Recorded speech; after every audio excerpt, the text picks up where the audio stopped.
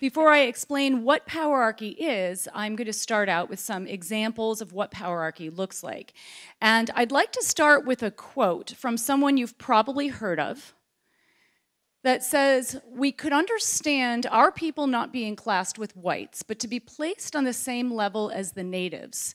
These are darker skinned people. Seem too much to put up with. Natives, as a rule, are uncivilized. They are troublesome, very dirty, and live like animals we are infinitely superior to natives. Now, who do you think said this? If you guessed Gandhi, you guessed correctly.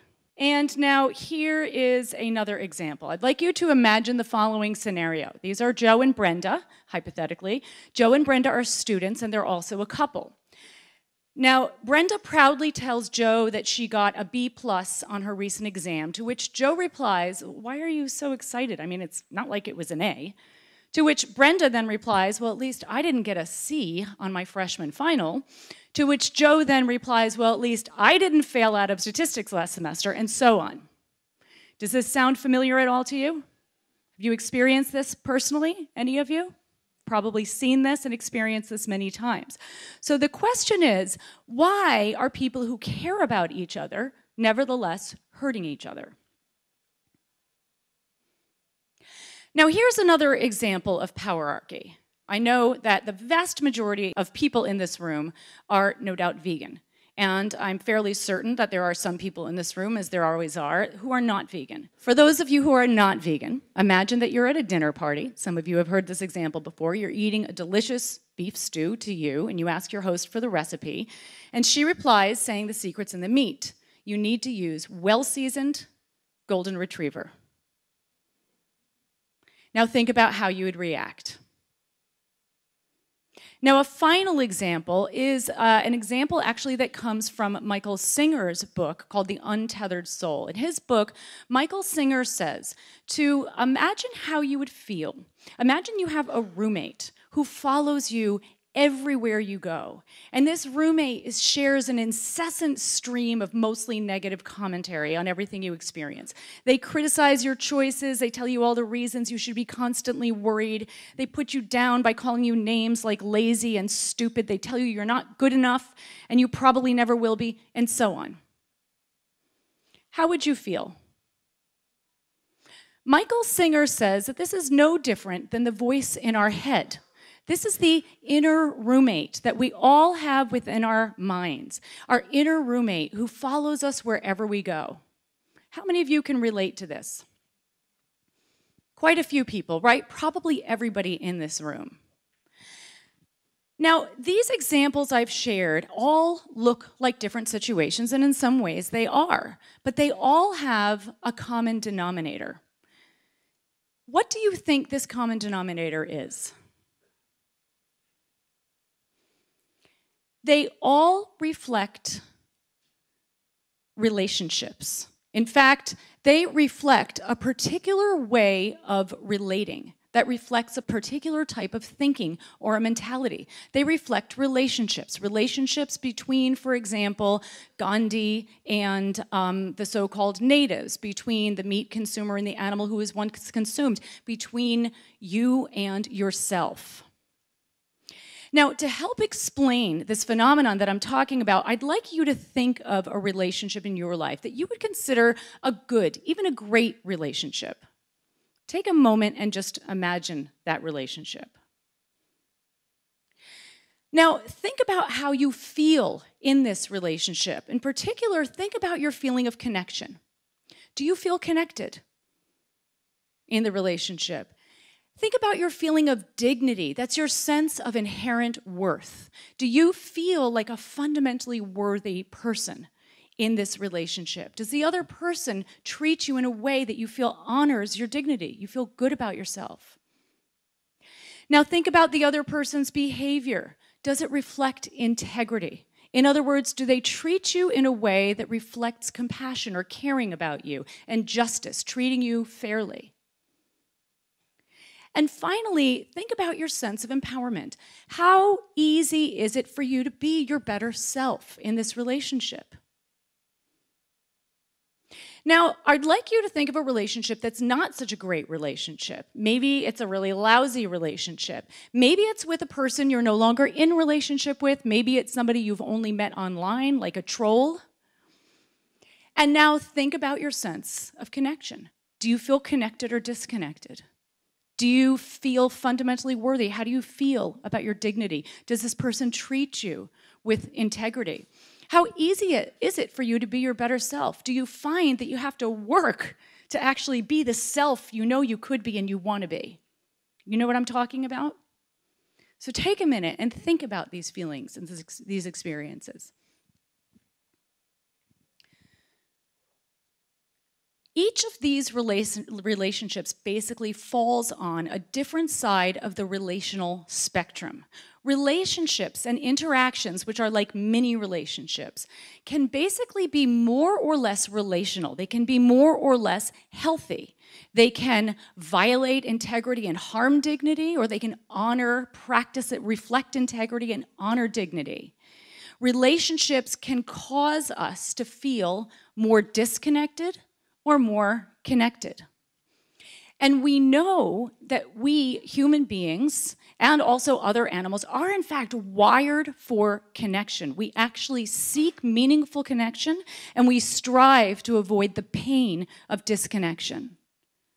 We also know that we are wired for empathy and that feeling empathy tends to increase the chances that we will act in ways that enhance connection.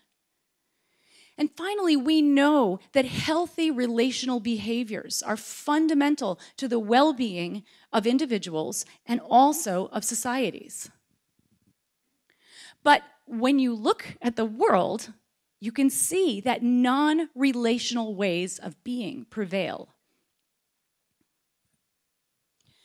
So the question for us is what's getting in the way of us relating the way that we want and need to? What is it that's causing this relational paradox whereby we create the very thing that we want to avoid? Now, I have been pondering this question for a very long time. In fact, my mother told me that I was born old. I'm not kidding, and she did not say that as a compliment. Um, but seriously, the catalyst for me to start thinking about this issue started a very long time ago um, when I was a, a, young child on my father's fishing boat. Um, and in fact, this is probably why my father says that it's his fault that I turned into an activist. My father, the Republican fisherman. I used to love going on my father's boat. It was the, my favorite place in the world to be. Until one day, when I was about four years old, I caught my first and last fish. And when I caught this fish, my parents were so excited and they ran up to me and they were cheering me on and they were pulling the fish out of the water with me. But I couldn't feel excitement. I couldn't feel what they were feeling. I felt kind of numb, kind of sad. And when I look back now, I realize I felt guilty. My young mind was could not reconcile what I was experiencing at that time. And my father's boat, which was my had been my favorite place to be, became a source of distress, and I stopped going on it.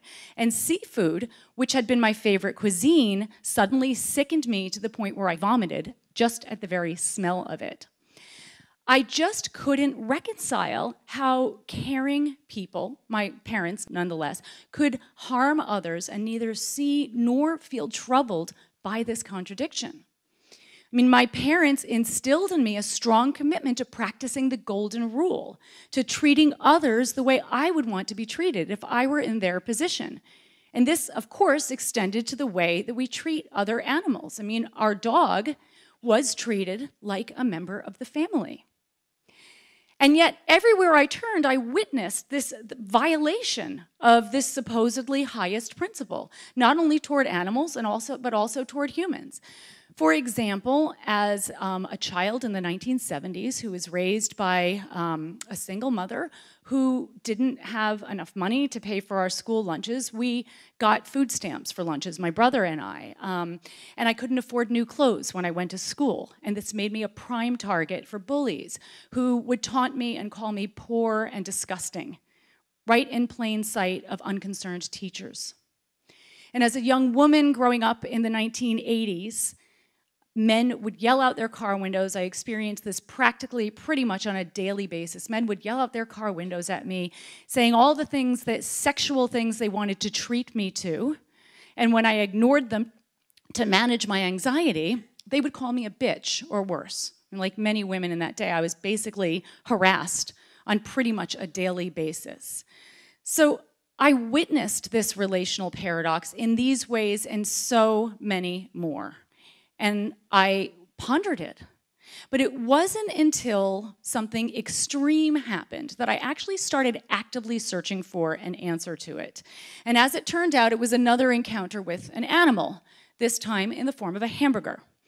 I ate a hamburger in 1989 that led me to get so sick I was hooked up to intravenous antibiotics in the hospital and I just stopped eating meat after that. Not for any like ethical reasons at least not to my conscious awareness but because I was just disgusted by the last food that I had eaten and so I started looking for, you know, ways to cook my new diet, which was vegetarian and then quickly became vegan. Um, and this information, or this search for information led me to discover information about animal agriculture, of course.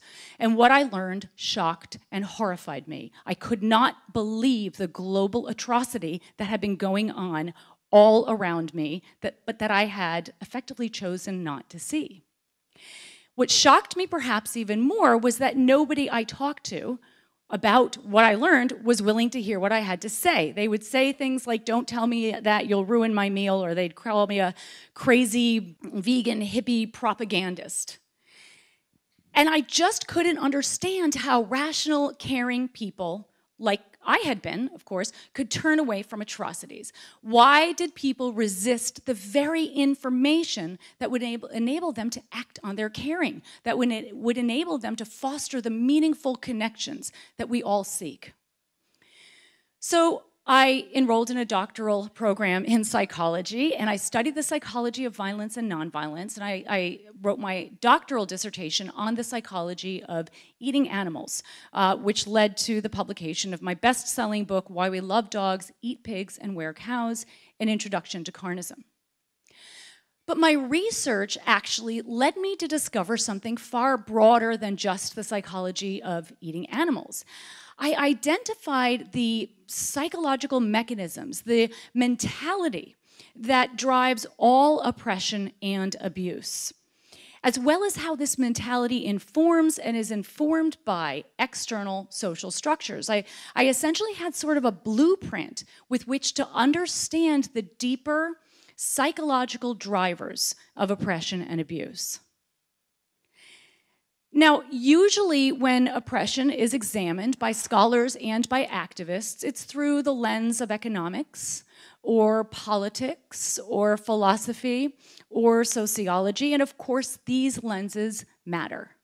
They each help us see a different aspect of oppression. But we also need to look at oppression through the lens of relationships.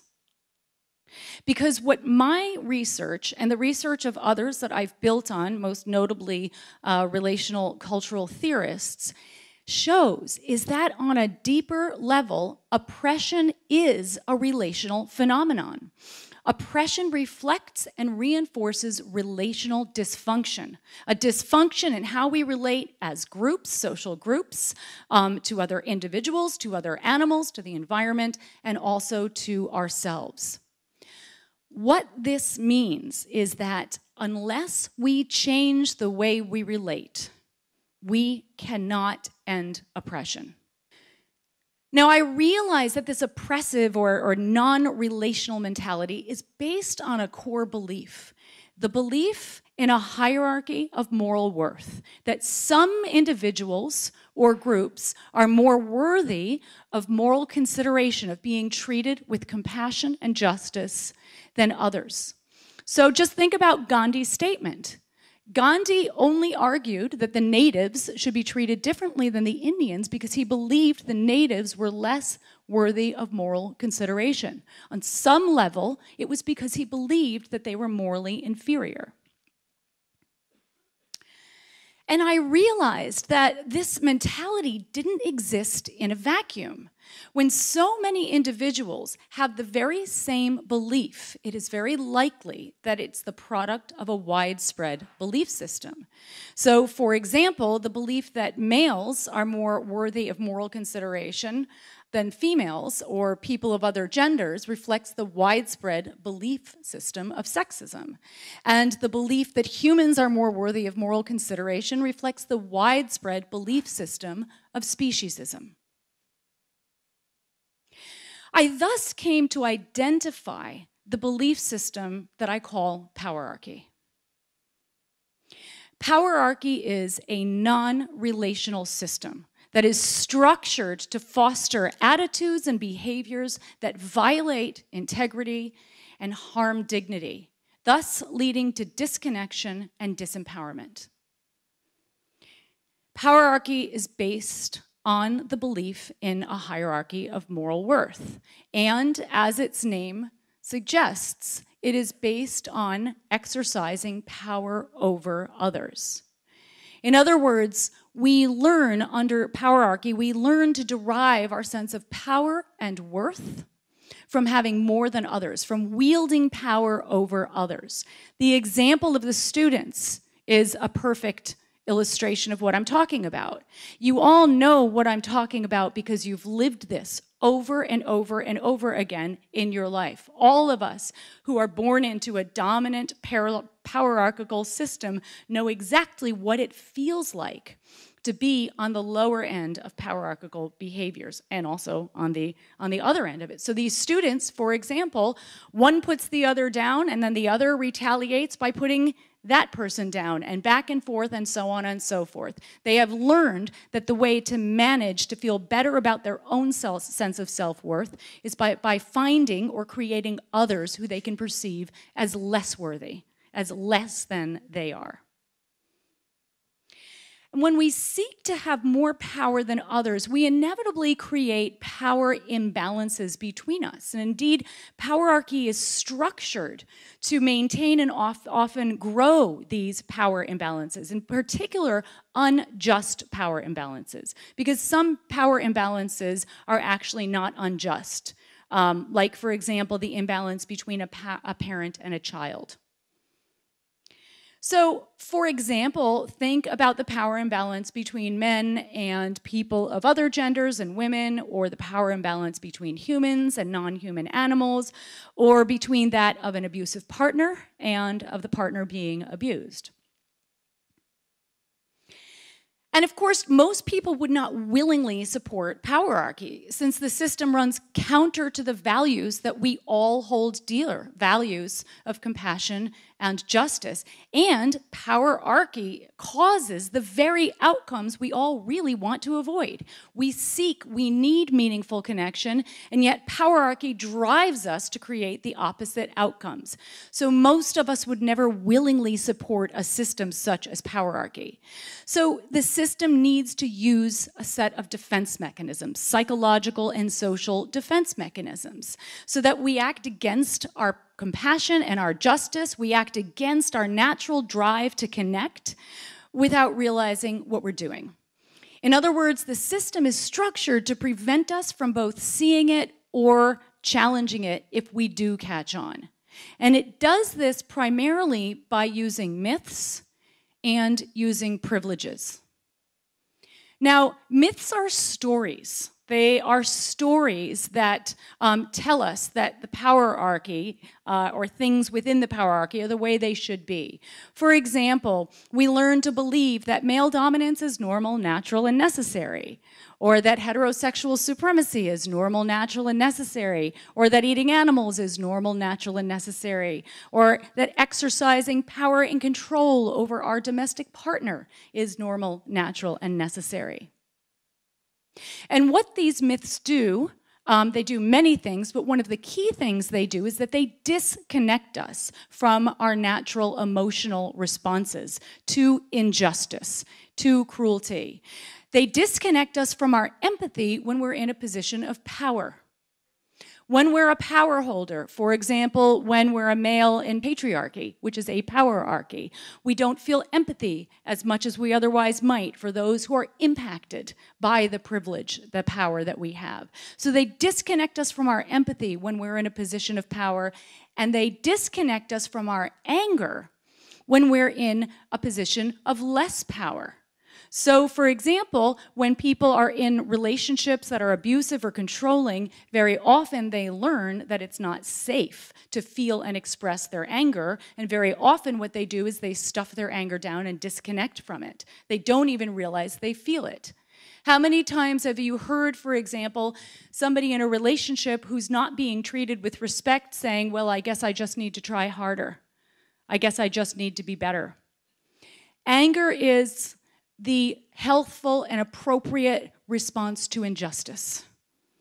When we're disconnected from our anger, we lose the power that would encourage us to stand up against injustice for ourselves or for others. And often, when people are on the lower end of a power hierarchy, instead of anger, what do you think they feel? What is the emotion they feel instead? Right, shame, which we'll talk about a little bit later. Now, privileges are advantages that are given to some groups or individuals, but not to others, that help maintain the power imbalance. So, for example, men can run for political office without having their gender be a part of their platform. Um, they can walk in public, for the most part, without fear of harassment. At least um, cisgender, heterosexual men can. Heterosexuals can marry, not be diagnosed as mentally ill, start a family without having to justify their choice. Humans can own, buy, sell, and eat other animals. Animals have virtually no rights, um, no privileges. And an abusive partner can say or do what they want without having to justify their behavior. And all forms of oppression share these same features.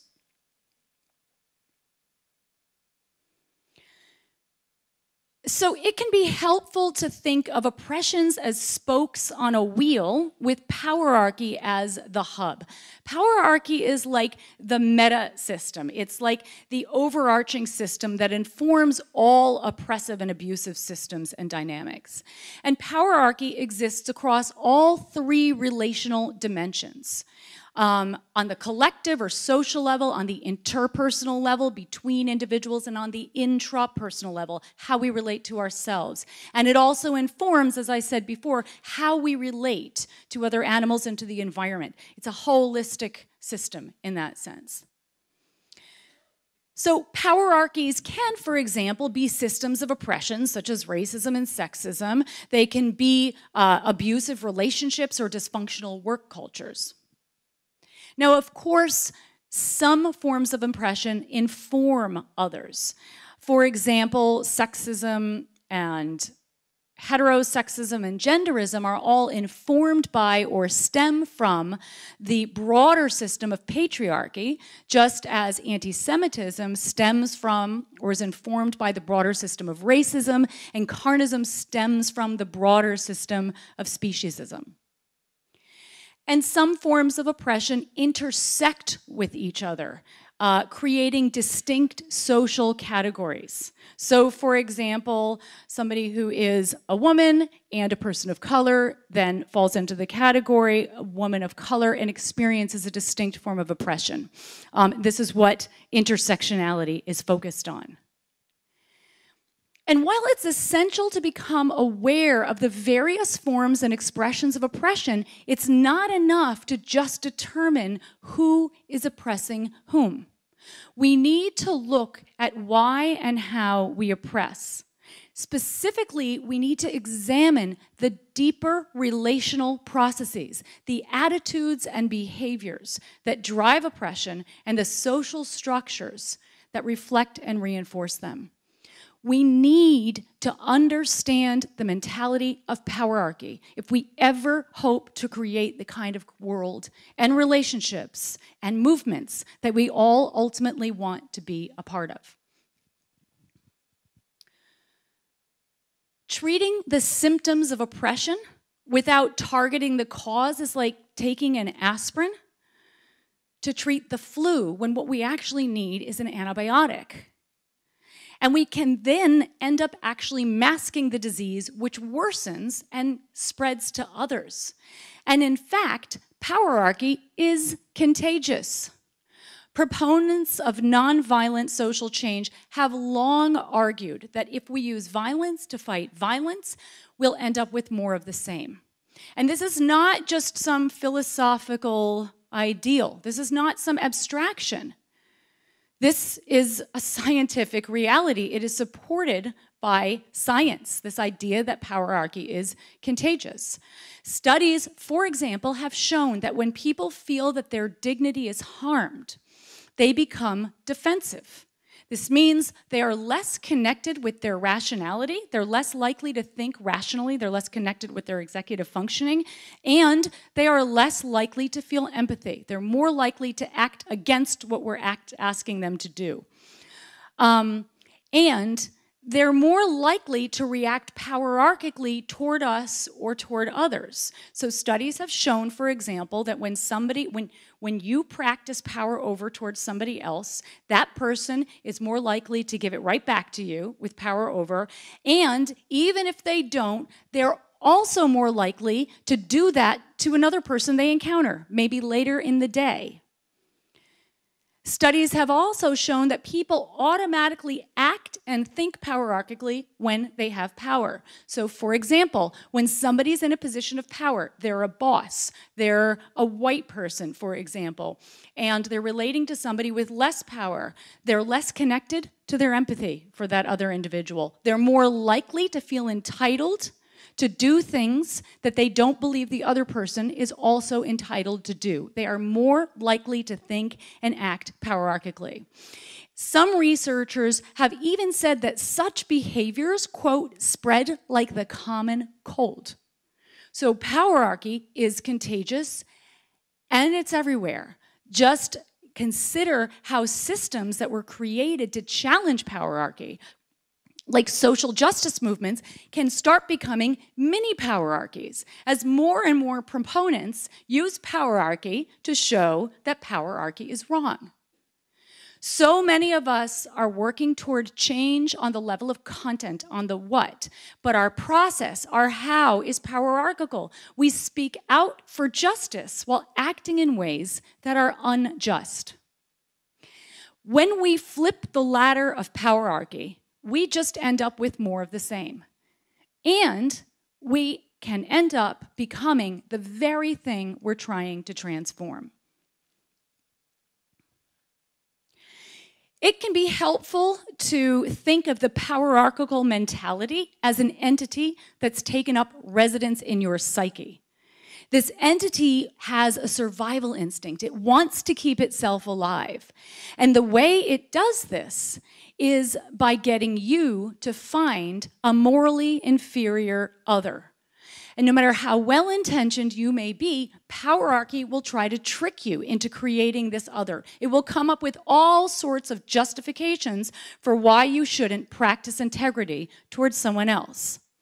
The justification du jour is because we're morally outraged. Because once somebody has done something we consider unethical, we feel justified in carrying out power over behaviors toward them, in disrespecting them. Now, one way you can tell that you're under the influence of the powerarchical mentality is if you feel the emotions of either contempt or shame. These are relational emotions. They only exist in relation, in relationship. They only exist in comparison. We feel contempt or we feel shame when we're comparing ourselves to another or to an idealized or demonized version of ourselves. When you feel contempt, that's a sign that you've placed yourself in a position of moral superiority. And when you feel shame, that's a sign that you are experiencing yourself in a position of moral inferiority. And the antidote to both of these is empathy. It is difficult, if not impossible, for example, to look down on another when we're actually looking at the world through their eyes. Now, contempt and shame both result from the same belief, from the same myth. Contempt and shame result from believing in the myth of a hierarchy of moral worth. That we can be better or worse on a fundamental level. We have more or less intrinsic value than another, or than an idealized version of ourselves. And this is a myth, of course. If you think about it rationally, each one of us is simply a product of our hard wiring, the brain and body we were born with, and every single experience we have ever had in our lives. We're nothing more nor less than this. How could we be? Expecting others or ourselves to be different from who and how we are is like expecting a tree that's been rained on not to be wet. I feel quite certain that if I had been born into the body and environment of Ted Bundy, that I would not have become an advocate for compassion as I am today. In fact, to feel and advocate compassion is a privilege. This does not mean that we don't hold others accountable and that we don't work to change problematic behaviors. Of course we do. It simply means that we do so without harming dignity. We do so without feeding the epidemic of powerarchy. So, given all of this, what is the solution? How do we work toward the transformation of powerarchy? Since the problem is caused by non relational ways of being, the solution needs to be focused on cultivating healthy relationality. In other words, we need to develop relational literacy, the understanding of and ability to relate healthfully. It never ceases to amaze me that most of us have no choice but to learn complicated geometry that we will probably never need to use, and yet we never get a single formal lesson on how to be healthy relational individuals. And when you look at the problems of our world today, these are not problems that are caused by people who don't know how to do geometry. And on top of this, we have been born into a deeply dysfunctional world. It's like we are continuously, we are still living in the relational dark ages. Frankly, I'm amazed that we make it through the day half the time. So I'm not surprised, you know, that we keep recreating relational dysfunction. It makes sense given where we're at at this point in time. And the good news is that each of us has the capacity to become much more relational.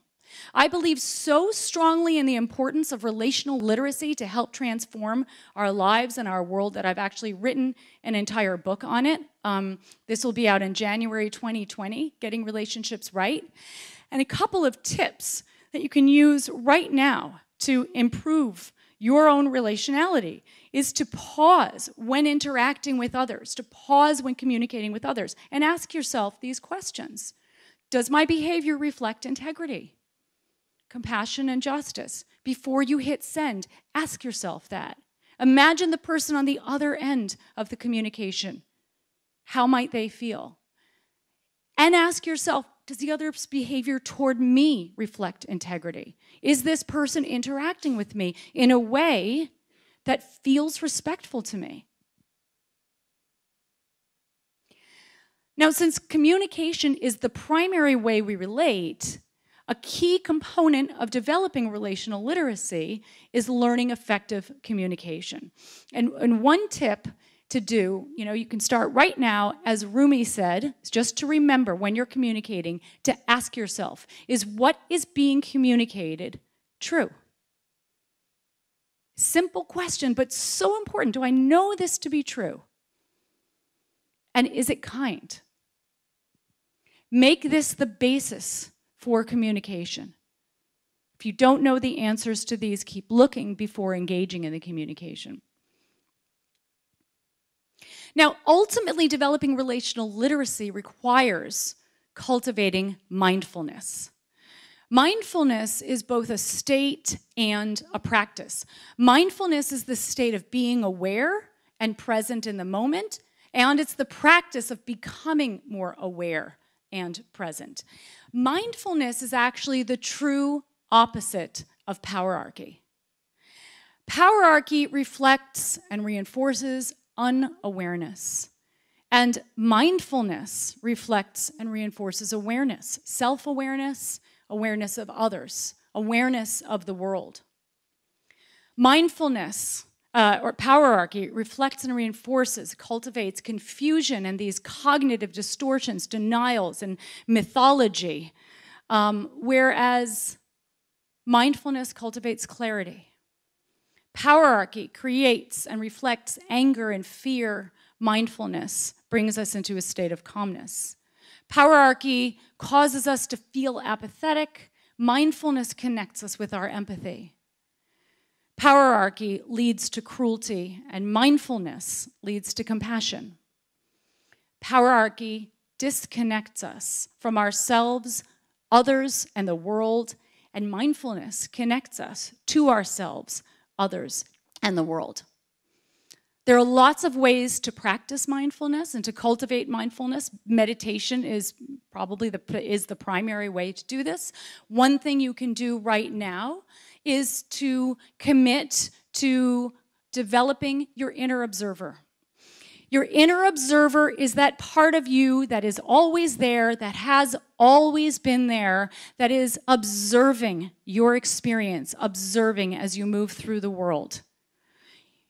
It's the part of you that is objective and compassionate. It's not creating stories and it's not reacting to what's happening, it's just noticing with compassion.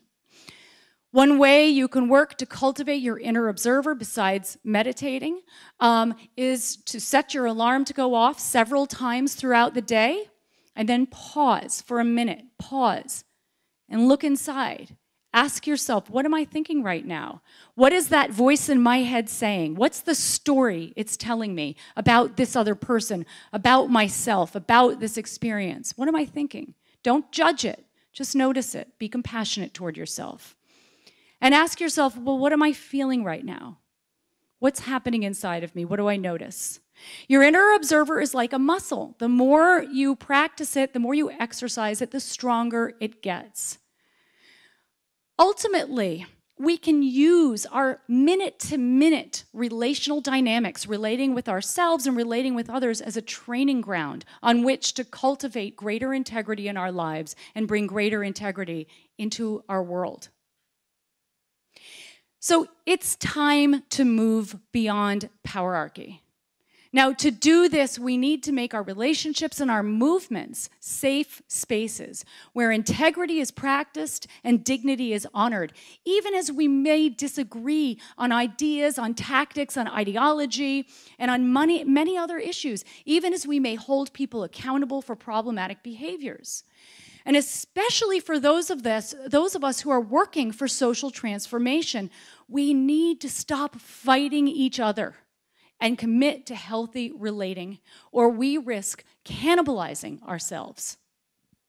If we spent half the time learning how to be more relational, as we do looking for examples of how others and ourselves aren't good enough, aren't moral enough, berating vegans who aren't vegan enough, or environmentalists who drive too much, or progressives who don't use the right words when they're talking about privilege, if we spent half the time focusing instead on cultivating healthy relationality in ourselves, we would very likely transform our movements within a matter of months.